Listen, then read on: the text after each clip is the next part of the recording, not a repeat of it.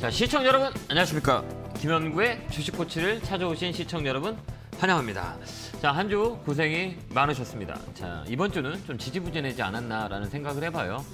박스권 행보 위쪽에서 지금 행보하는 모습들이 좀 지루한 시장 연속이다라는 것들 보여주고요. 그다음에 또 이슈가 됐던 게뭐 어, 제 간밤에 뭐 비트코인 급락으로 어, 금과 은가들이 많이 상승하는 모습을 보여줬어요. 아, 지금 시장의 모습은 삼성전자의 레벨 바톤이 일어나야 되는데 좀 처지는 모습들이 좀 시장을 지루하고 지수의 반등을 좀 약하게 만드는 것 아닌가 이런 생각을 해봅니다. 뭐 개인 투자 자금들이 받쳐주는 시장의 모습을 연출했었는데요. 최근에 거래 대금 자체가 많이 줄고요. 이번 주는 특이한 점은 기관들이 매수가 많이 들어왔다는 거죠. 삼성전자 위주로 매수의 폭이 확대됐다라는 게 코멘트였습니다. 우리가 이런 시장에서 어떻게 대응을 해야 되냐라고 할 때는 원자재 가격을 보면서 그다음 곡물값을 보면서 아이디어를 찾는 게 좀 낫지 않을까라는 생각을 해봅니다. 뭐 다우존스는 뭐 강보와 뭐 나스닥도 강보합에서 끝났다 이렇게 보시면 돼요. 뭐 다우존스는 30, 64포인트 0.19 상승 마감했고요.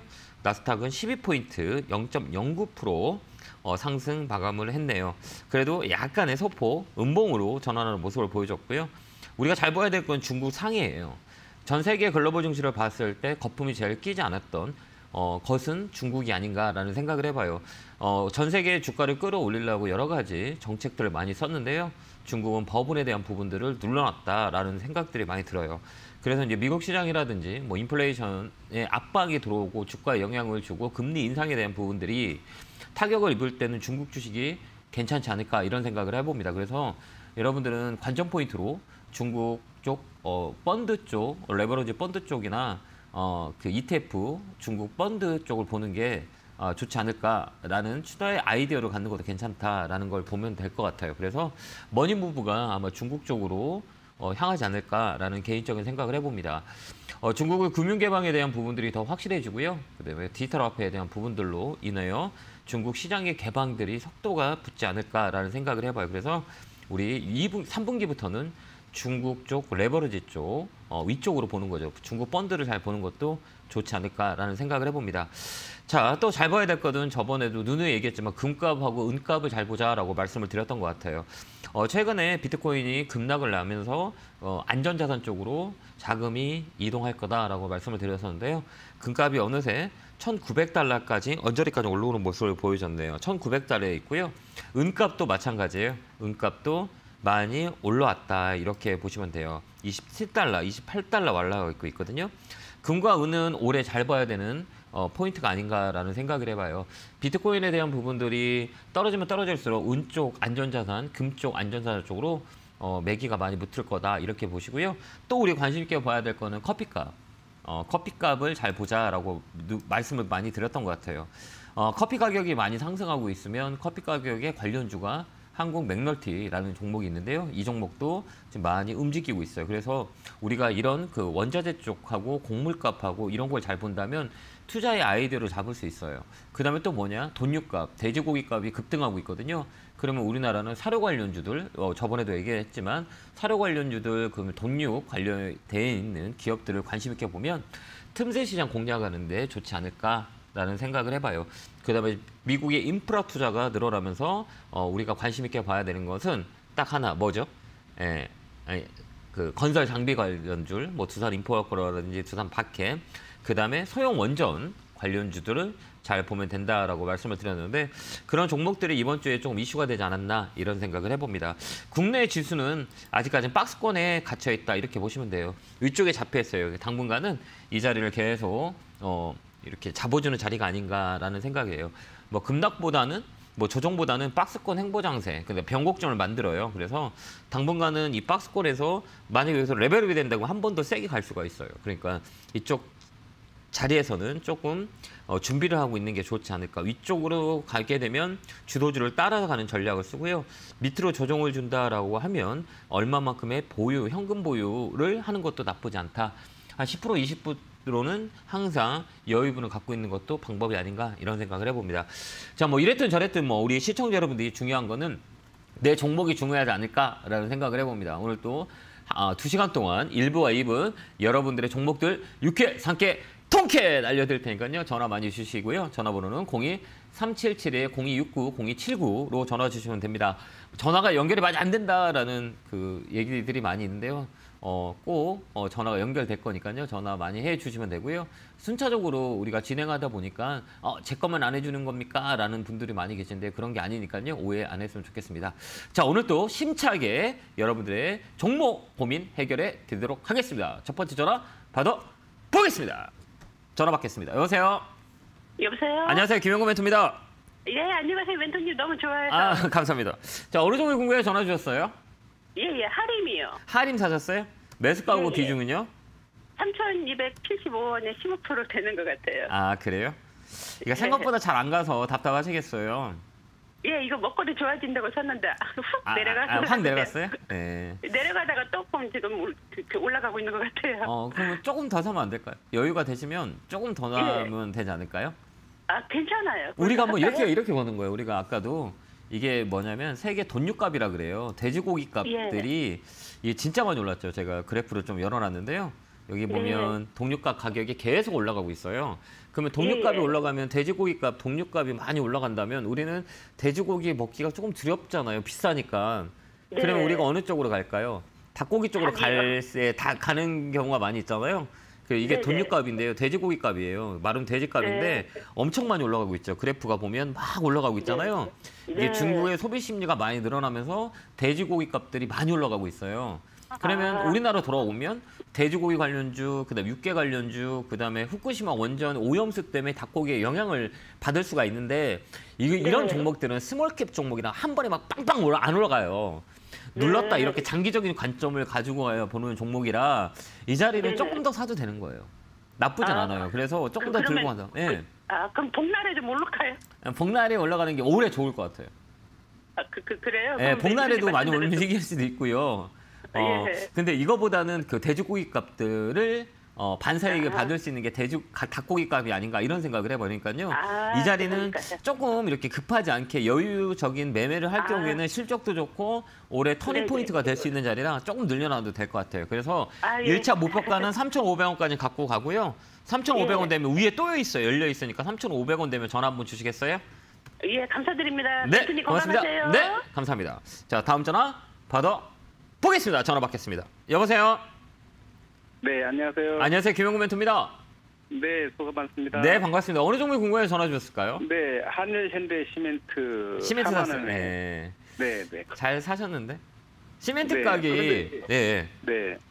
말씀하세요. 네. 생각보 네, 생각보다 요즘에 지지부진해 가지고 아, 빨리 가고 싶은 걸 원하세요? 아니 그렇지는 않죠. 천, 네, 네. 천천히 가도 뭐냐 네. 수익만 남으면 관계 없는 거죠. 어, 그렇지 맞죠. 그런 생각을 해야 네, 되거든요. 네. 그러니까 네, 이게 네. 급등을 하면 뭐에 급락을 해야 되고 빨리 가는 네. 걸 원한다 그러면 빠른 종목을 해야 되는 거예요. 그렇지 않을까요? 네. 근데 이게 네. 올해는 어, 지금 가장 네. 이슈가 되는 게 뭐냐면 시멘트 공급의 부족일 뉴스에서 한번 보신 적 있으세요? 네, 마, 자주 봅니다. 자주 보죠. 그래서 네, 건설 네. 업황에 대한 우려가 이 시멘트 공급의 이 대란 때문에 영향을 많이 받아요. 그래서 시멘트 가격이 올라가고 그다음에 레미콘 네. 가격 뭐 이런 것들이 네. 어, 하반기에 영향을 받을 수 있어요. 그러면 시멘트 관련주는 단기적인 흐름이 좋을까요? 장기적인 흐름이 좋을까요? 장기적으로 좋겠죠. 단기, 장기, 네. 중장기적으로 단기 이렇게. 그러니까 단기보다는 중장기 쪽으로 보는 게 나아요. 하반기 쪽에 네. 영향을 줄수 네. 있는 거잖아요. 그러면 네, 지금 그렇죠. 어, 좀 더디게 올라간다 하더라도 올라갈 수 네. 있는 모멘텀이 있잖아요. 네, 네. 그러면 갖고 있는 게 좋을까요? 아니면 그냥 아 이게 답답한데 파는 게 좋을까요? 답답해도 가지고 있는 게 낫겠죠. 그렇죠. 왜 그러냐면 올라갈 수 있는 네, 네. 이유가 있으니까. 근데 네, 거기다 네. 100%까지 실었다는 거는 연구를 네. 하신 거잖아요. 안 그래요? 네, 네. 아, 내가 네. 이게 좋아 보이고 앞으로 올라갈 수 있는 이유가 있구나. 시멘트에 대한 공급 네. 부족이 일어나고 있으니 시멘트 값들이 네. 급등할 수 있고 이 회사에 대한 이슈가 될 수 있겠구나라고 해서 하신 거잖아요. 네. 그게 네. 100점이죠. 정답은 네, 나왔어요. 근데 뭐 비중이 너무 많다. 저는 괜찮다고 봐요. 네. 왜 괜찮다고 생각하는 거냐면 분석하신 네, 거 아니에요? 네, 딴지 뭐냐 분석은 참 못, 못하지만 그래도 건자재 네, 맞아요. 주가가 좀 올라간다 그러니까. 네, 내 근데 나름대로 생각을 해서 비중을 실은 거잖아요. 그다음에 네. 이 기업이 돈을 버- 잘 벌어요, 못 벌어요? 네, 잘 버는 잘. 벌어요. 예. 그리고 시가총액이 작은 건 아니에요. 그래도 단단하게 아, 7천억 그래요? 정도 돼서 예, 나쁘진 않아요. 근데 네. 다만 네. 어, 느림보 거북이에요. 쭝쭝 우상향하는 종목이에요. 그러니까 예. 급하게 보지 말고 좀 느긋하게 가져가는 전략이 어떠냐 이런 코멘트 드릴게요. 아, 목표가는 8, 5만 원 잡으시면 돼요. 네, 고맙습니다. 네, 5만 원 넘어가면 또 있으니까 그때 한번 전화 주세요. 네, 잘하겠습니다. 네, 고맙습니다. 힘내시고 응원합니다. 네, 감사합니다. 다음 전화 받아 보겠습니다. 전화 받겠습니다. 여보세요. 아, 예, 안녕하세요. 안녕하세요. 김영구 멘토입니다. 네, 어느 종목에 궁금해서 전화 주셨을까요? ENF 테크놀로지에 네, 매수가구 비중은요. 30%고에 예. 45,300원이에요. 어, 이거 사신 이유가 있으세요? 아니, 누구 지인이 소개로 샀는데 네네. 계속 너무 떨어져가지고 지금 어떻게 해야 될지 몰라가지고. 네네.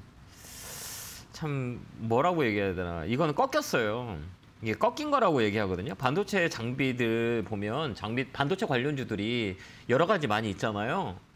근데 네네. 이 삼- 반도체 반비주들이 레벨업dem이 되려면 어느 종목을 많이 따라가냐면 삼성전자를 많이 따라가요. 아시죠?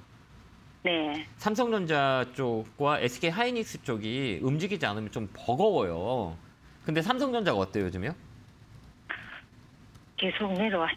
삼성전자 봐봐 이렇게 막 힘을 못 받잖아요 주가가요. 네, 그죠? 네. 그죠? SK 하이닉스는 어때요? 하이닉스도 지금 15만 원에서 아직까지. 많이 빠지잖아요. 그죠? 네, 네, 조정이 많이 들어오고 있잖아요. 네. 그건 뭐를 얘기할까요? 뭐를 얘기할까? 이렇게. 아, 이게 별로 어, 주가가 영향을 지금 어, 강하게 받지 못하구나라는 조정의 구간을 얘기를 할 수 있는 거잖아요. 네. 그래서 이 종목은 조금 더 빠질 수가 있어요. 지금 이거를 어떻게 해야 될지 몰라가지고 추가 매수를 해야 되는 건지. 아니요, 추가 매수하면 안 돼요. 예. 안 돼요? 예, 저는 이렇게 생각해요. 이게 시간적인 여유가 있으면 반도체 네. 장비 업체나 반도체 소부장 쪽은 나쁘지가 않거든요. 근데 이 종목은 아니요, 이 종목은 좀 밑으로 더 밀릴 수 있어요. 아, 많이 빠져요. 그러니까 반등 들어올 때 종목 교체하는 건 어떨까요? 왜요? 너무 손실이 커가지고. 많이 사셨어요? 아, 좀, 네, 추가 매수를 했었거든요. 4만 7천 원 일이 너무 사가지고 제가 네. 추가 매수 해가지고. 주식을 잘더 모르시죠? 늘려요. 네네. 이게 그 떨어지는 때가 있고 올라갈 때 있고 횡보할 때가 있어요. 이게 가격 세 가지 네. 조건에서 움직이거든요. 이 종목은 15,000원에서 15,000원부터 시작해서 5만 원까지 올라갔어요. 많이 올랐죠. 몰라주셨어요? 그, 많이 올라갈 때는 한 6만 원까지 올라갔었는가 보던데요. 5만 5천 원이요. 5만 5천 원, 5만 5만 얼마까지 많이 올라갔냐면 최고가가 5만 3천 원. 5만 3천 원까지 올라왔었어요. 이 종목은. 아, 네. 그럼 우리가 볼 때 어떤 거를 봐야 되냐라고 했을 때 어, 15,000원 최저가가 15,000원, 13,000원부터 5만 3,000원까지 올라갔는데 내 가격이 얼마예요? 4만 5,000원 높아요, 얕아요? 높죠. 그럼 여기서 더 올라가려면 뭐 시장이 되게 좋던가 이 회사에 모멘텀이 있어야 되는 거예요. 근데 우리가 그걸 보지 않고 그냥 사신 거잖아요. 옆에 있는 사람 말을 듣고 그죠? 네. 그럼 손해를 감수해야 될 줄 알아야 되는 거예요. 그러니까 좀 안타까운 거죠. 그러니까 주식은 아무도 몰라요. 내일 어떻게 될지 모르는데 딱 한 가지만 알면 돼요. 우리가 내가 지금 산 가격이 옛날에 과거에 비해서 높냐 얕냐 이거를 판단할 줄만 안다면 야 너무 높은 가격에 내고 굳이 어 아무- 지금 살 이유가 있냐라는 생각만 하면 돼요. 이 회사의 업황이 이런 걸 잘 모른다라고 하면 밑에서부터 위까지 얼마만큼 올라갔는지를 판단해야 되는 거예요. 그걸 안 하셨기 때문에 지금 고생을 하시는 거잖아요. 네. 맞잖아요. 그다음에 비중도 단가가 높죠. 이게 매 금액이 투자 금액이 크실 거예요. 네. 그러니까 힘들어 하시잖아요. 비중은 30%에도 금액이 크시니까 힘드신 거잖아요. 네 네. 맞잖아요. 네. 그래서 다음에 하실 때는 어, 매수의 종목 내가 이게 얼마가 최저가고 어디가 최고가냐 지금 현재가가 얼마냐라는 거는 내가 잘 모르잖아요. 그러면 증권사로 전화해서 물어보세요. 그러니까 지금 옛날에 최저가가 얼마고 최고가가 얼마고 지금 현재가가 얼마입니까? 라고 주- 물어보고 이 가격을 샀을 때 내가 얼마만큼 수익을 낼수 있는 공간이 있는지 없는지를 판단하는 게 훨씬 더 좋아요. 그러면 이걸 저기 반등은 조금 올 수 있겠습니까? 네, 올려서 올 수 있어요. 예. 그때 팔면 돼요. 그럼 얼마에 지금 4만 원대? 팔면은 4만 원대 저는 팔 것 같아요. 4만 원이야? 네네 네. 아, 4만 원에 그러면 손절하는 게 파는 게 난. 저는 팔아요. 제가 갖고 있으면 이거 이 종목 팔아요. 아, 계속 가지고 있어도 오르지는 않습니까, 그러면? 그거는 약 그거 시간이 언제가 될지 모르겠어요. 아, 시간이 네. 중요한 거잖아요. 그죠? 근데 이 자리는 꺾인 아. 자리라 채소 있잖아요. 많이 빠져요. 옆으로 가든 올라갈 때는 버금가는 시간이 필요해요. 아, 그럼 4만 원에 일단 파는 게 저는 팔아요. 예. 예. 그리고 어머니 4만 원에- 그 네네. 주식 잘 모르시죠? 예. 연세 많으시죠? 네, 나이 좀 한 70대. 근데 왜 주식을 하세요?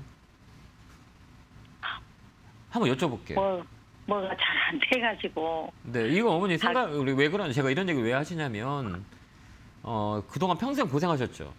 자식들을 위해서 우리 가족을 위해서 고생을 많이 하셨잖아요. 지금 예, 우리 뭐 어머니 같은 경우 하고 있었는데 코로나 네. 때문에 장사 너무 안 돼가지고 그러니까. 그돈 있는 거- 조금 있는 것 같고 좀 이거 해본다고 해봤더만 안 되잖아요. 장사도 쉽게 네. 되진 않, 않잖아요. 네. 이것도 똑같아요. 근데 어머니가 지금 여행도 다니고 좀 쉬셔야 할 나이에 이 주식이 뭐라고 지금 스트레스 받고 마음에 상처를 입는 거잖아요. 어떻게 해, 해지도 못하고 잠도 못 자고 그죠? 그 너무 많이 떨어지니까는 이거 이건 많이 떨어지는 게 아니에요. 이게 더 떨어질 수 있어요. 그래서 하는 얘기예요. 그러니까 다음에는 이게 잘 올라오면 주식 금액을 줄이세요. 알겠죠? 그럼 4만 원까지 올라오기는 올라오겠습니까? 올라올 수 있긴 있을 것 같아요. 근데 올라오는 게 중요한 게 아니라요. 우리 어머니가 또 주식을 할까 봐 큰 금액 가지고 또 주식을 할까 봐 이게 걱정이에요. 네. 그게 걱정이에요. 이게 올라오고 떨어지는 건 단순하게 그래 내가 손해 좀덜 봤어 라는 것보다는 내가 앞으로 계속 손해 보면 안 될 거잖아요. 네네. 그러면 하는 게 좋아요, 안 하는 게 좋아요? 안 하는 게 네, 안 하는 게 좋아요. 왜 그러냐면 우리 어머니 평생 고생하셨고 지금 좀 쉬고 좀 여행 좀 다니고 하셔야 할 연세잖아요. 근데 이게 뭐라고 이거를 하셔가지고 마음 고생을 하세요. 아, 저는 그렇게 생각해요. 그러니까 이번에 이거 올라오면 잘 팔고 투자 그림을 줄이세요. 용돈 삼아 한다 생각하고 많은 금액을 투자하지 말고요. 절대 화를 입어요. 아, 아시겠죠? 네. 이거는 네네. 자식 같은 그 제가 자식 같잖아요. 네. 나이가 그래서 자식이 어머니한테 하는 얘기라 이렇게 생각하시고 좀 받아들이면 좋을 것 같아요. 아, 네, 알겠습니다. 건강하시고요. 예, 이거 올라오니까 네. 그때 꼭 파세요. 그다음에 투자 네. 걸고 주시기 바래요. 네, 감사합니다. 네. 네, 건강하시기 바래요. 다음 전화 받아 보겠습니다. 전화 받겠습니다. 여보세요. 안녕하세요. 안녕하세요. 김영구 멘트입니다. 아 대표님 오늘 로또 사야겠어요. 아, 예, 감사합니다. 고맙습니다. 아, 네. 네. 자, 어느 종목이 궁금해 전화 주셨어요? 아 유한타 증권이고요. 유한타 증권 사셨어요? 네, 매수- 4,500원에 네. 10%좀 안 돼요. 아, 그래요. 어떤 게 궁금하세요? 어, 아 제가 그냥 이것저것 공부를 하다가 산 네. 건데 예. 어, 홍콩 지수나 상해 종합 지수 이런 거 음. 월봉을 보면 네. 유한타 증권 월봉 그래프랑 좀 비슷하게 생겨서 네. 좀 한번 올라갈 수 있지 않을까 해서 샀는데요. 네, 네. 어, 금리가 인상이 되면 증권주에는 별로 안 좋지도 않을까 이 생각도 들어가지고. 아, 그래. 복잡하면 안 돼요. 단순하게 생각하자. 주식은 너무 복잡하면 안 돼요. 되게 심플하게 봐야 돼요. 주- 주식의 그 정의는 두 개예요. 오르냐 떨어지냐. 이게 단 이게 주식의 정의잖아요. 올라가면 네. 수익을 보고 떨어지면 어, 손해를 보는 거잖아요. 그럼 네. 여기서 거 보자. 올라갈 수 있는 이유가 있냐 없냐. 이거 하나예요. 복잡하게 생각하지 마. 증권주가 지금 이 증권 업체 업종 자체가 지금 호황이에요, 호황이 아니에요? 호황이. 돈 많이 벌죠. 네. 왜 그러냐면 브로콜러지 스스로들을 많이 받아서 올해는 되게 좋을 수 있어요. 작년에 되게 좋았잖아요. 그래서 웬만한 억대 연봉자들이 많이 나오잖아요. 네. 그게 어- 언제 그랬었냐면 어 언제가 그랬냐면 우리가 2000 그 08년, 09년, 010년 이때 펀드 매니저들이 인기가 되게 좋았었어요. 음, 맞아요. 기억 안 나요 옛날에? 그래서 맞아, 막 맞아. 그랬어요. 어? 그죠 뭐 아 뭐 뭐 증권사 다닌다고 뭐 어, 신랑감 1위 막 어, 1순위였고 막 그럴 아. 때가 있었죠. 네. 그게 요즘 또 다시 불고 있어요. 그건 뭐냐면 업황이 좋아졌다는 거잖아요. 네. 그러면서 이 증권주는 그동안에 네배달, 네배달, 그러니까 그동안 계속 조정을 줬었어요. 그게 언제부터 시작했냐면 2015년에 정점을 찍었어요. 증권주, 그 다음 2015년에 바이오, 제약, 그 다음 화장품 관련주가 2015년에 되게 많이 움직였었어요. 증권주도 마찬가지고 그 다음부터 떨어지기 시작했어요. 2018년에 잠깐 올랐다가 계속 떨어졌거든요. 그러면 이번에 업사이클이에요. 그래서 올해는 되게 좋을 것 같아요. 그래서 더 들고 가자는 어, 저의 생각이에요. 저는 또 아주 좋아요. 그래서 저는 아. 좀 욕심을 부리면 6천 원까지도 보여요. 네. 그다음에 이 종목은 또 뭐에 엮여 있는지 아세요? 정치 테마에 엮여 있어요. 아, 유한타증권이. 몰랐어요. 예, 한번 찾아보세요. 정치 테마 뭐 정치인과 연결고리가 있어가지고 정치 테마로 엮여 있어요. 이 종목도. 아, 그래가지고 그것도 한번 찾아보는 것도 나쁘지 않고 위쪽으로 많이 열려 있으니까 좀 더 들고 가세요. 저는 좀 욕심을 부리자면 6천 원까지는 보여요. 그러면 조금은 더 비중을 늘려도 될까요? 저는 더 들려요. 근데 젊으신 것 같은데 지금- 주식한 지 오래됐어요? 아, 오래 안 됐어요. 아 그래요? 예. 네. 근데 잘잘 보시네. 1년, 1년 채 안 됐어요. 근데 잘 보시는데요? 이 자리 아, 좋은 자리. 예, 이게 좋은 자리예요 이거요. 예. 아. 잡아주잖아 바닥을 이렇게 떨어지지 않고. 그럼 지금 가격에서 조금 더더 담아도 사요. 예, 좀 좀 더? 사봐요. 아, 예. 그래서 한번 알겠습니다. 6,000원, 5,500원, 6,000원 사이에까지 보이거든요. 고디까지 아. 한번 갖고 가보세요. 알겠죠? 알겠습니다. 네, 고맙습니다. 건강하세요. 네.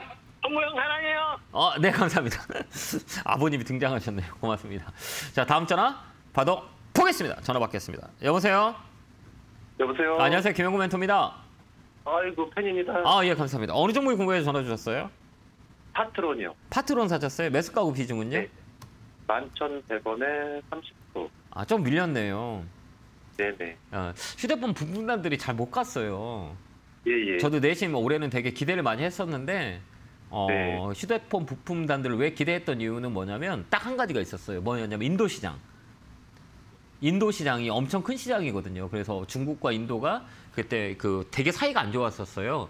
그래서 예, 예. 중국의 저가 휴대폰들이 삼성 쪽에 오더를 많이 줄 거다라는 생각을 했고 그러면 휴대폰 부품단들이 많이 움직일 거고 LG전자가 철수를 해서 많이 움직인다라는 생각을 했었거든요. 근데 잘 못 가잖아요.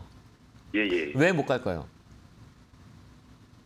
인도 코로나가 엄청나게 심하잖아요. 예. 거기다 영- 영향이 짝짝 있어요. 근데 이 예. 더또 하나 포인트는 뭐냐면 어, LG전자의 중국 어, LG전자의 휴대폰 사업부가 철수되면서 삼성전자가 국내 점유율을 더 키울 수 있는데 어, 그 점유율의 저가편으로 공략할 수가 있어요. 그래서 휴대폰 부품단들은 지금 못 가잖아요. 좀 안타깝지만 장기적으로 보는 것도 나쁘지 않냐, 나쁘지 않지 않아 보여요. 그래서 아, 좀 예. 끌고 가는 전략은 어떨까요? 시간을 주면 수익을 낼 수 있는 종목이에요. 파트너도 마찬가지고. 그래서 네, 좀 네, 네. 좀더 끌고 가는 건 어떨까요? 좀 중장기적으로 한번 모아서 가는 네. 것도 나쁘지 않아요. 실적도 좋고 어, 네. 수급도 나쁘진 않아요. 그럼 그 다음에 어, 이제 업사이클, 다운사이클이 있거든요. 사이클의 네. 휴대폰 부품단들도 쳐다봐야 되는 자리가 아닌가라는 생각을 해봐요. 그래서 위쪽으로 많이 열려 있으니까 지금부터 좀 안 가더라도 느림보 네, 네, 네. 거북이가 훨씬 더 좋아요. 토끼처럼 꽁충꽁충 뛰는 것보다는 느림보 네, 거북이처럼 엉금엉금 기어가는 게 더 오래 가고 그 다음에 결승전에 먼저 결승점에 먼저 골인 하거든요. 그러면 나쁜 네. 것 같진 않아요. 그래 끌고 가는 전략을 드리고 싶어요. 저는 네, 그럼 혹시 목표는 어느 목표가는 정도가- 13,000원. 아, 예. 13,000원 넘어가면 한 번 더 움직일 거예요. 그때 한번 전화 주세요. 아이, 고맙습니다. 네, 더디더라도 너무 놀래지 말고 좀 끌고 간다 생각하면 돼요. 아, 네. 알겠죠? 힘내시고 응원합니다. 감사합니다. 고맙습니다. 네, 고맙습니다. 다음 전화 받아 보겠습니다. 전화 받겠습니다. 여보세요. 네, 안녕하세요. 안녕하세요. 김용구 멘토입니다. 네, 아유, 반갑습니다. 네, 반갑습니다. 어느 종목이 궁금해 전화 주셨을까요? 한국 콜마 5만 하- 8천 한국 콜마 사셨어요? 아, 그래요? 네. 어, 어, 걱정되세요? 아니면 어떤 게 궁금하세요?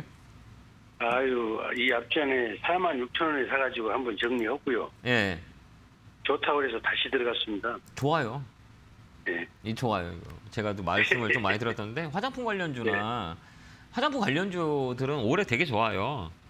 예, 예. 그 화장품 관련주들이 왜 좋냐라고 했을 땐 어, 사람들이 억눌러졌던 심리들이 있잖아요. 이게 보복섭이라고 그러거든요. 그 예. 들어보셨죠? 예, 예. 막 그래서 막 사고 싶어하는 욕구가 되게 강해요. 그 중에서 가장 예. 많이 어, 만약 마스크를 벗는다라고 하면 뭐가 가장 매출이 많이 일어날까요? 화장품이 많이 나겠죠? 그죠. 우리 여- 지금 여성분들은 화장을 많이 안 하고 다니시잖아요. 마스크 때문에. 네. 그럼 이게 네. 화장 마스크를 벗었다 그러면 어, 여기다 화장을 해야 되지 않을까요? 해야죠. 아, 그럼 많이 많이 매출이. 늘어날 거. 작년에 너무 안 좋았던 게 올해 좋을 수 있잖아요. 이게 네. 기저효과라 그래. 그 화장품 관련해서 쭉 끌고 가는 전략을 쓰면 돼요. 목표가는 6만 5천 원까지 가져가는 전략 드릴게요. 예, 아유, 감사합니다. 네, 홀딩하고 끌고 가세요. 네, 성공수차 기원합니다. 감사합니다. 감사합니다. 네, 고맙습니다. 다음 전화 받아 보겠습니다. 전화 받겠습니다. 여보세요. 여보세요. 어, 지금 잠깐 전화가 연결이 안 돼서 잠깐 시장 보도록 할게요. 자, 다음 주 시장도 지지부진할 거예요. 근데 우리가 개인 투자자분들이 많이 갖고 있는 삼성전자에 대한 고민이 되게 많으실 거라고 봅니다. 그다음에 최근에 뭐 LG전자라든지 아, LG화학이라든지 이렇게 급락이 나오면서 LG화학 갖고 계신 분들도 많이 걱정이 많이 있을 거고 한데요. 어 그래도 시간과의 싸움을 하면 나쁘지 않다 이렇게 보여지니까 여러분들 어 끈기 딱 갖고 놓치지 말고 쭉 끌고 가는 전략을 쓰면 될 것 같아요. 제가 오늘 8시에 강은혜가 있는데요. 어, 시간이 되신 분들은 밤에 많이 오셔가지고 많은 얘기, 그다음에 많은 공부, 어, 저번 주도 공부했지만 이번 주도 공부, 엑기스 강의가 많이 있으니까요. 시간 되신 분들 오늘 8시에 보도록 하고요. 안내 보고 오겠습니다.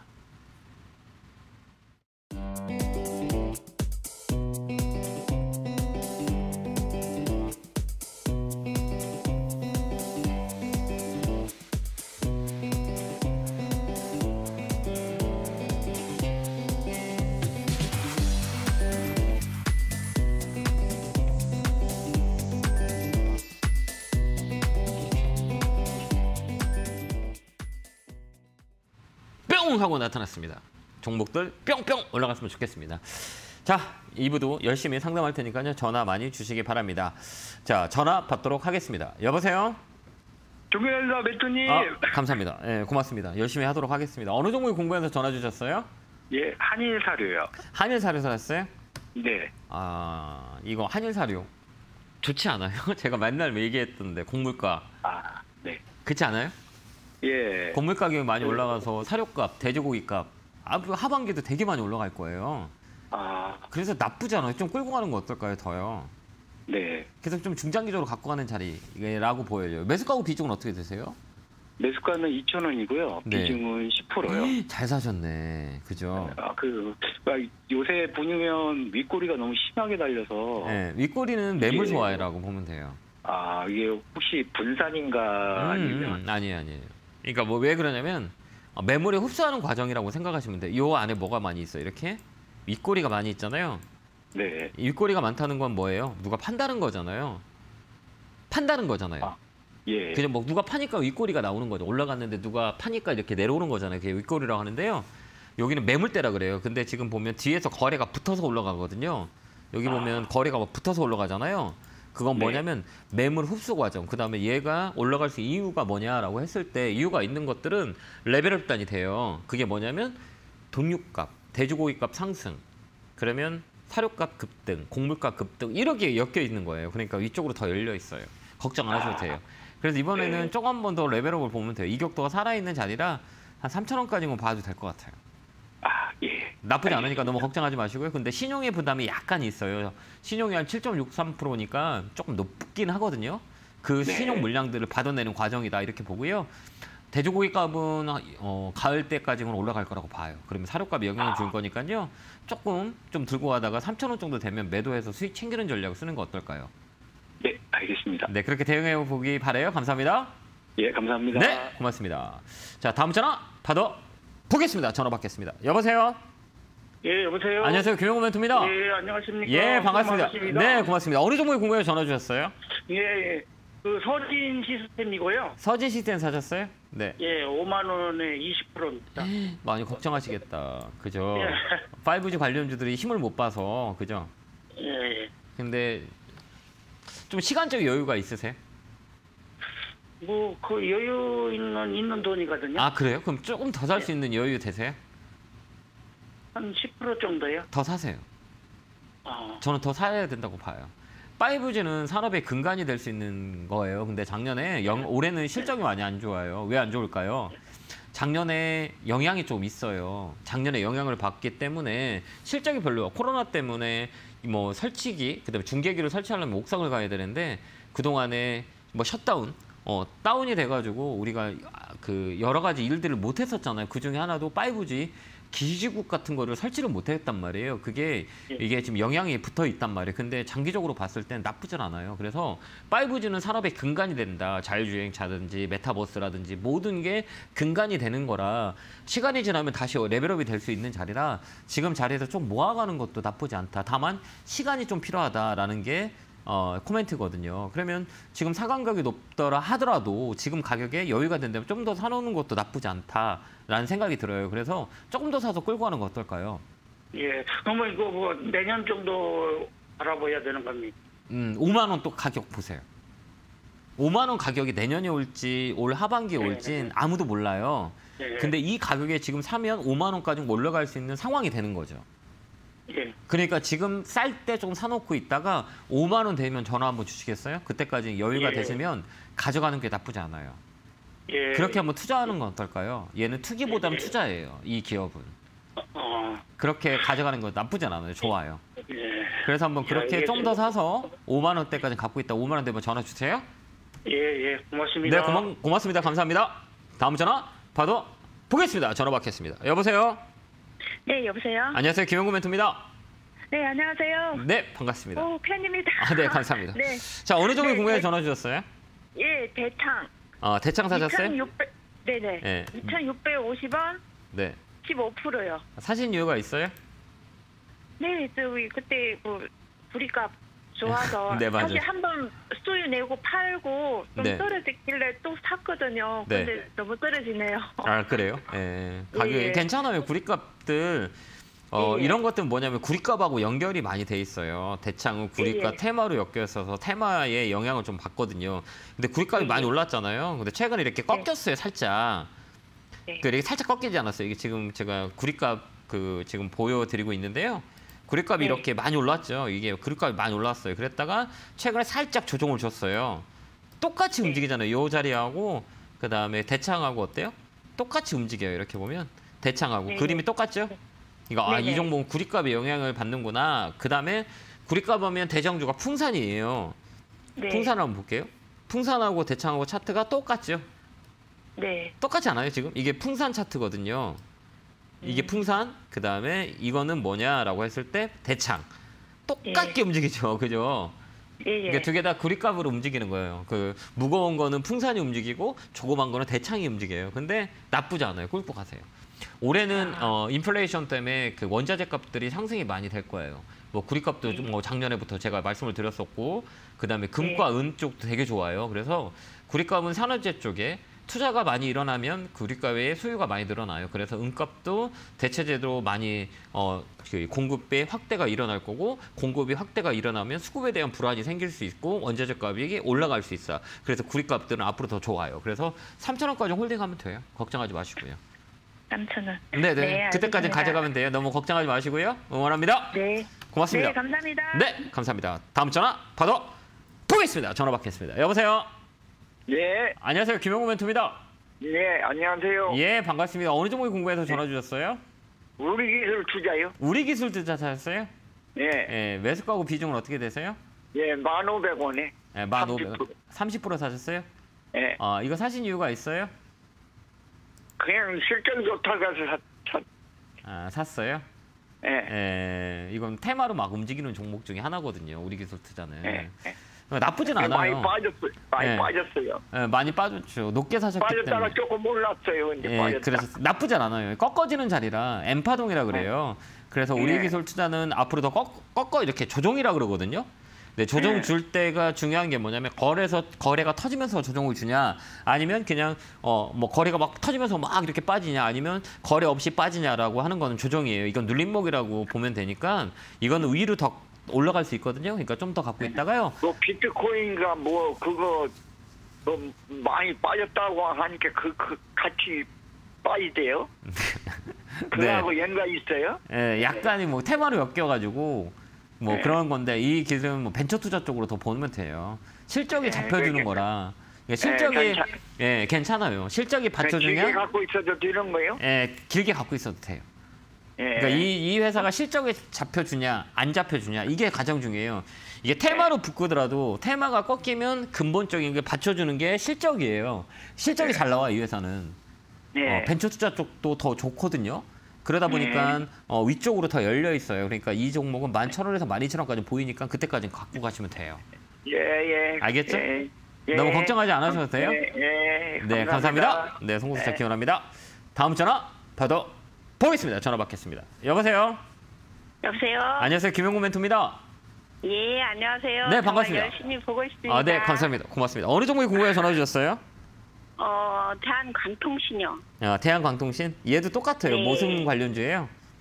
어, 저기 파이, 5G고 광섬유, 광케이블 그게 좋다고 그래서 해- 샀는데 예. 매수가고 비중은 어떻게 되세요? 어, 3,745원에 10% 정도 돼요. 아, 그래요? 비중은 많이 안 네. 많지 않아서 다행이네요. 5G들이 관련주가 이게 재작년에 한번 2017년에 이슈가 되면서 되게 많이 올랐거든요. 예. 예, 그다음에 조정을 줬는데 어 여유가 되시는지 여유가 안 되시는지를 예, 봐야 돼요. 괜찮아요. 그러면 손해 보고 팔지. 마요. 갖고 있어요. 아, 그래요? 예, 왜 그러냐면 그 아까도 얘기했지만 똑같은 맥락이에요. 뭐 대한광통이나 예. 서진 시스템이나 뭐 솔리드나 뭐 되게 많아요. 뭐 오이 솔루션부터 시작해서 전체 업종 자체가 처지고 있어요. 작년에 코로나 영향을 많이 예. 받았거든요. 근데 5G는 안 되면 그 4차 산업에 영향을 많이 줘요. 속도에 문제가 네. 생기거든요. 그러니까 우리가 중요한 건 뭐냐? 같은데. 음, 그러니까 시간을 주면 되는 거죠. 네네. 어, 맞죠? 아, 그래요? 어, 그럼 예, 시간을 주면 되지 그래요? 않을까요? 그러면 내가 산 네. 가격이 높은 가격이 아니어서 한 번 레벨업이 네. 돼요. 근데 아. 어, 지금 떨어져 있으니까 좀 답답하고 막 안 가고 막 박스권에 네, 잡혀 있으니까. 지루하잖아요. 예. 원래 속 썩이는 자식이 효자예요.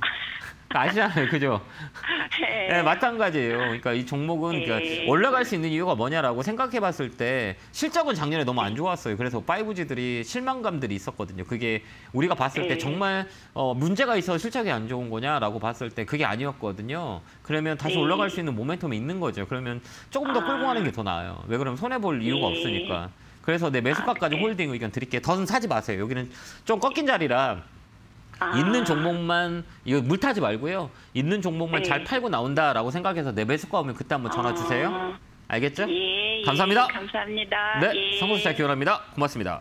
자, 다음 전화 받아 보겠습니다. 전화 받겠습니다. 여보세요. 여보세요. 안녕하세요. 김영호 멘토입니다. 예, 고맙습니다. 팬입니다. 아, 네, 감사합니다. 어느 종목이 궁금해 전화 주셨어요? 저 CMG 제약이요. CMG 제약 사셨어요? 예, 예. 아, 매수가구 비중은요? 5,400원에 30%입니다. 다 밀렸네요. 그죠? 예. 제약바이오가 많이 그랬어요. 최근에 어 뭐 올해 들어서 제약바이오가 힘을 못 봤잖아요. 예, 예. 근데 제약바이오는 특징이 있어요. 어, 어떤 특징이 있는지 아세요 혹시요? 잘 모르겠습니다. 예. 주식은 이제 얼마 안 돼서. 아 그러셨구나. 올라갈 때는 정말 무섭게 올라가요. 예. 기대감 때문에 되게 많이 올라갔다가 또 시들어지면 또 무섭게 빠져요. 예, 예. 그랬다 또 이슈가 되면 또 무섭게 올라가요. 음. 그러면 지금 떨어져 있는 상태잖아요. 예. 이걸 팔아야 될지 더 가져가야 될지라고 생각하면 되는 거예요. 맞잖아요, 예. 그죠?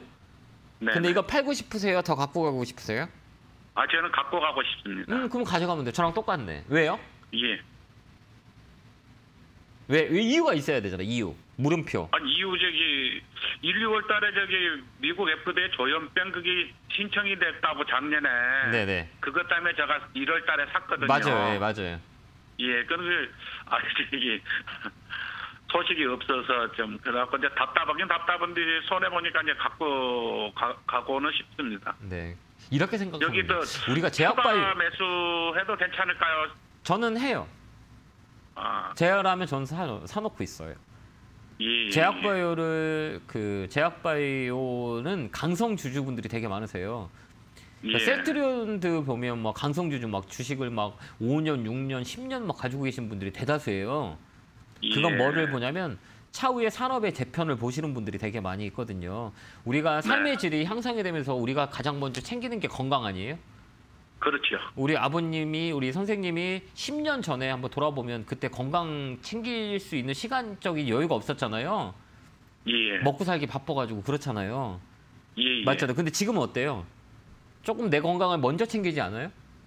맞습니다. 그럼 앞으로 10년 후에는 더 어때요? 더 많이 챙길 거겠잖아요. 그래서 제약바이오 산업 자체는 장기적으로 봐서 꼭 중요한 핵심 산업이에요. 예, 그러니까 이거를 단기적으로 볼 거냐, 장기적으로 볼 거냐라고 봤을 때 실적이 받쳐주는 기업들은 장기적으로 보는 게 훨씬 더 좋아요. 근데 이 회사는 예. 실적이 받쳐줘요, 안 받쳐줘요? 받쳐줍니다. 받쳐줘요. 그럼 가져가면 되지 않을까요? 예, 맞. 예, 그래서 그러네요. 엉덩이 무겁게 하면 돼요. 그래서 좀 끌고 가다가 예, 엉덩이 무겁게 가면 되지 않아요? 예, 예, 예, 그래서 6천 원까지 홀딩 의견 드릴게요. 예, 고맙습니다. 네, 송호수차 기원합니다. 감사합니다. 네, 예, 다음 네 고맙습니다. 다음 전화 받아 보겠습니다. 전화 받겠습니다. 여보세요. 여보세요? 안녕하세요. 김영구 멘트입니다. 예, 안녕하세요. 반갑습니다요. 예, 반갑습니다. 어느 종목이 궁금해 전화 주셨을까요? 예, 지트리 BMT. 아, 이거 엄청 고생이 많으셨겠다. 그죠? 예, 예, 예. 매수가하고 비중 어떻게 되세요? 어, 매수가가 27,000원. 비중은요? 비중은 한 30% 돼요. 아, 그래요. 얘는 그 오래 걸릴 것 같아요. 분산이라고 하거든요. 예, 그러니까 예. 주식을 대응을 잘 해야 되거든요. 여기 꺾이는 자리예요. 그러니까 네. 뭐냐면 여기 2만 원대 있잖아요. 여기가 분산이 일어나 가지고 이 거래가 터졌잖아요. 여기가 예, 예. 그럼 예. 이런 종목은 시간이 오래 걸려요. 그래서 한참 더 이- 빠질 수가 있어요. 예, 안국 건조증 삼성 그 신약 개발 때문에 좀 샀거든요. 네, 맞아요. 예, 예. 그래서 그것이 실패했는 것 같습니다. 네, 맞아요, 맞아요. 예, 예, 예. 그렇기 때문에 이거는 시간이 오래 걸릴 것 같아요. 예, 지금 팔지도 못하고 이리도 못하고 그러고 갖고 있네요. 예. 근데 이게 저점이 나온 거라 이 예, 종목은 예. 대응을 잘해야 돼요, 이제는. 그러니까 뭐냐면 예, 예. 지금 아직까지는 계속 옆으로 기, 옆으로 행보할 거예요. 이 가격에서 계속 왔다 갔다 할 거예요. 그랬다가. 이 가격이 갑자기 한번 이렇게 거래가 들어올 때가 있어요. 이 거래라고 하거든요, 이게. 그때를. 보고 판단을 해야 되거든요. 그러니까 당분간은 좀 홀딩하고 계시다가 15,000원 되면 전화 한번 주시겠어요? 그때 한번 어, 전략을 예, 하셔야 예. 돼요. 더 사지 더 사면 안 돼요. 예, 예, 그래요. 예, 15,000원 되면 꼭 한번 전화 주세요. 예, 예. 네, 고맙습니다. 예, 고맙습니다. 다음 전화 받아 보겠습니다. 전화 받겠습니다. 여보세요. 네, 안녕하세요. 안녕하세요. 김현구 멘토입니다. 네, 그 반갑습니다. 예스 24고요. 네. 어, 18,000원에 15%예요. 아, 그래? 어. 네. 18,000원이요? 무증. 아, 무증 권리락 반. 예, 권리락 때문에 그렇구나. 어, 네, 어떤 게 궁금하세요? 만 12,250원 시작했는데 네, 네, 네. 그 제가 이게 무상증자 받은 게 처음이라서 네, 네. 그 23일인가 지금 들어올 예정이거든요. 네, 네. 팔아야 되냐 말아야 되냐. 그러면 아니 아니 그때까지 그 매매를 하면서 가야 되는지 아니면 이그 계좌를 유지하면서 그냥 들어올 때까지 가도 되는 회사인지 들어와도 상관없을 것 같아요. 나쁘진 않아요. 움직이잖아요 주가가 예, 움- 움직여요. 예, 움직여요. 예. 근데 그때까지 혹시 떨어질 확률도 있는 회사라면 그 떨어 주, 회사는 흑자도 나고 좋, 좋은 회사인 것 같은데 카뱅일 주가는 수도 주가는 주가는 있잖아요. 내일 올라갈 수도 있고 떨어질 수도 있잖아요. 있고. 네, 그죠? 네, 그러면 내일 모레 올라갈 수도 있고 떨어질 수도 있고 그죠? 네. 그다음 내일 모레는 막 아니 근... 많이 걱정은 안 되는데요. 왜냐하면 요번에 이제 네. 지금부터 이제는 수익 구간에 들어갔거든요. 네네네. 많이 걱정은 안 되는데 네. 그래도 이 제가 이런 상황이 된 게 처음이라서 네. 저, 무상증자 받은 게 처음이라서 예, 저는 이 자리는 아직 살아 있어요. 근데 14,000원이 네. 되게 중요한 자리예요. 네. 14,000원이라고 그럼- 그러거든요. 예, 14,000원 자리가 중요한 거니까 저는 네. 여러 사람들하고 생각이 좀 다른 게 뭐냐면 저는 수익 나면 무조건 네. 챙겨요. 아, 예, 수익이 크든 작든 있잖아요. 어, 네. 챙기면서 가는 주자 그 챙기면서 가는 사람이에요. 그러니까 뭐냐면 조금의 수익이 네. 났다라면 행운이라고 생각하거든요. 주식은 수익 네. 날 확률보다 손실 날 확률이 더 크거든요. 네. 그러면 주식을 잘하는 사람은 딱 한- 종이 한 장 차이예요. 주식을 잘 팔아요. 네. 왜? 또 다른 거 살 수 있는 눈을 가지고 있기 때문에 네. 이거 팔고 다른 거를 살 수 있으면 얘를 오래 갖고 있을까요? 오래 안 갖고 있을까요? 오래 안 갖고 있죠. 왜 다른 거 눈에 보이니까 그죠? 제가 그걸 몰라가지고 그러니까 그러니까 네, 못 파는. 거거든요. 제가 그 얘기를 그러면- 끌어내기 위해서 예, 네. 팔아요 저는 14,000원에. 아 그러면 수익 네. 구간 조금 극대화되면 팔아도 유, 저 증자하는 게 들어오니까 들어오니까 전또 팔아요. 그거 예. 가지고 그것도 팔 네. 거예요 아마 저는. 아이 자리는 네, 조금 더 맞아요. 위로 열려 있- 있는데 무거운 네. 자리예요. 무거운 이게 뭐냐면 이 자리는 신고가잖아요. 네. 가격이 최고가가 14,000원이면 신고가 거- 권역이거든요. 그러면 신고가의 권역은 아. 딱둘 중에 하나예요. 뭐냐라고 했을 때는 챙기는 전략과 더 세게 움직이는 전략이 두 개가 있거든요. 신고가 네. 매매는 더 강하게 움직여요. 사람들이 못 사거든요. 네, 네. 그래서 칠부 능선에서 한 번 더 올라가는 게 이게 그 주식의 법칙이라고 보고 보면 되거든요. 근데 여기서 네. 우리가 대응할 수 있는 사람이 많지는 않아요. 네. 주가가 막 고점에서 확 올라가면 여기서 대응할 수 있는 사람이 어- 많이 있을까요? 네. 많이 많이. 없어요. 못 팔아요. 네. 더 올라갈 땐 기대감 때문에. 그러면 여기서도 마찬가지예요. 음. 이것도 14,000원 되면 그냥 팔아서 수익을 챙기는 건 어떨까요? 아, 그래서 7월에 혹시 카뱅 상장 전까지만 제가 요걸 조금 정리하면 괜찮을 것 같죠? 재료 소멸. 예. 그 네. 전에 빠져요. 네. 주가라는 거는 선반영이 돼요. 그럼 유상 그 제가 증자 받으면 거기서 거기서 거의 정리를 하면 되겠네요. 저는 저라면 다 정리해요. 아, 네. Thank you하고. Thank you하고 공짜로 돈 생겼는데 그거 그냥 놔두겠어요? 네, 네, 네. 저는 그렇게 그래요. 감사합니다. 공짜로 돈이 생겼는데 이걸 그냥 놔둘까? 아니죠. 얼른 갖고 올 거예요. 내 거로 만들 거예요. 팔아야 내게 네. 되는 거잖아요. 그죠? 팔아야 내 거 되는 네, 거잖아요. 네. 그러니까 저는 팔 것. 같아요. 예. 그렇게 무상 바래요. 진작은 사실은 잘 몰라가지고 네. 좋다고 해서 받았는데 네. 그게 좋은 게 맞는 것 같아요. 예, 그건 검색해봐야죠. 내 나름대로 공부해야 하잖아요. 요즘은 인터넷 문화가 너무 발달돼서 내가 마음만 네. 먹으면 언제든지 검색해서 내 거를 갖고 올 수 있는 거잖아요. 네. 제가 주식을 처음 배울 때는 그런 게 없었어요. 네. 막 누구한테 가서 찾아가서 했던 시절이었었는데 지금은 너무 잘 돼 있잖아요. 내가 조금만 신경만 쓰면 아 무상증자, 유상증자, 제 3자 이 그다음에 이게 네. 뭐 권리락 이런 거 다 볼 수 있잖아요. 그러니까 조금만 아, 투자해야 돼요. 그래서 상품을 네. 팔으라고 했어요. 손품, 발품, 기품. 상품을 팔면 네. 우리가 주식하는 데 도움이 많이 될 거예요. 힘내시고요. 네, 감사합니다. 고맙습니다. 네. 다음 전화 받아 보겠습니다. 전화 받겠습니다. 여보세요. 여보세요. 예, 여보세요. 안녕하세요. 김영구 멘토입니다. 아, 네, 반갑습니다, 멘토님. 네, 반갑습니다. 어느 종목에 궁금해 전화 주셨어요? 어, KD 그 매수가 2,400원, 비중 40%입니다. 아, 그래요? 이거 사신 이유가 있어요?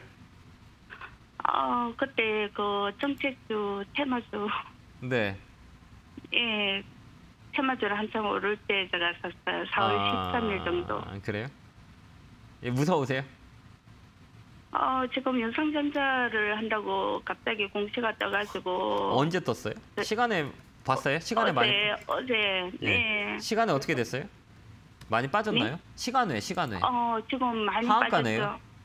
네. 시간에 하한가 나왔네요. 이런 종목들은 원래 그래요. 네. 시가총액 작은 것들은 장난을 많이 쳐가지고 302, 326억 이거 시가총액 작은 거잖아요. 그러니까 이런 네네. 종목들은 어 단기 매매를 하지 않으면 이런 악재들이 되게 많아요. 뭐, 시, 뭐 CB 전환부터 전환 사채 물량부터 시작해서 엄청난 어 그 물량들을 막 그 사채도 찍어내고 그다음에 막 유중도 막 주가 올라가면 유중시키고 막 이러예요. 그래서 막 되게 어려워요. 아, 제가 처음에는 음. 좀 2,600원 정도 많이 샀어요? 매수했다가 아니 금액이 네. 커요? 네, 그래서 분할 손질을 하고 네. 조금 올라가기를 물을 탔거든요. 이거 누가 사라 그랬는데? 세력주인데 아, 그, 네. 그때 그 네. 테마주라서 제가 조금 수팅이 있어서 샀었어요. 그래요. 이게 조그만 것들은 되게 힘들어요. 그러니까 이런 거 하면 안 돼요. 어, 너무 마음 고생하고 있습니다. 마음고생하면 이런 거 안 사면 되는데 왜 마음고생을 자처하세요? 그래서 제가 손질을 할까 말까 며칠 전에도 네. 제가 매매일지를 계속 잡고 있는데 고, 고민을 하다가 네. 어, 이렇게 그 공시가 떠나, 떠서 어제 잠 한 시 못 잤어요. 그러셨구나. 이런 종목 담을 하지 마세요. 이렇게 시가총액이라고 그러잖아요. 이 차트는 네. 나쁘지가 않아요. 기술적으로 네. 봤을 때 차트는 나쁜 좋은 게 아니 나쁜 자리는 아니에요. 저도 매직 구간이 예, 있더라고요. 매직 구간 맞아요. 예, 맞는데 여기서 악재가 나온 거잖아요. 그 악재는 네. 우리가 아무도 알 수가 없어요. 근데 다음에 살 때는 이 시가총액을 잘 봐야 돼요. 이거 시가총액 안 보시죠?